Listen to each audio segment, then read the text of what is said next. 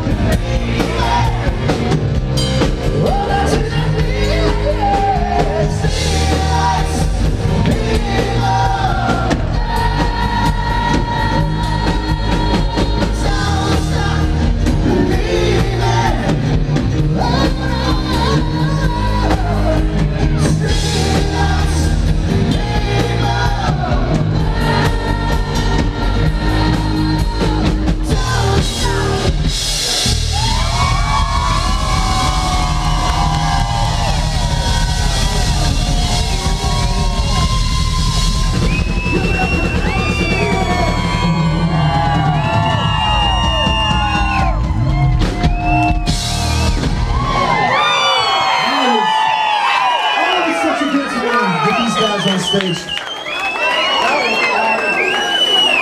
Let's hear it one more time for Alex and Leah!